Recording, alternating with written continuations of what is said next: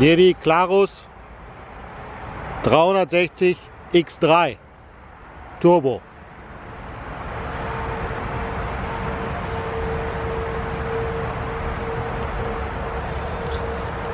Und hier die Ace Beam EC65 Turbo.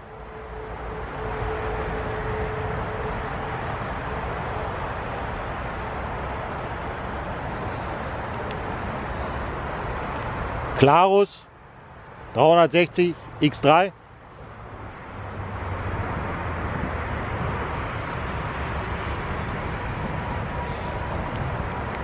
Ace Beam EC65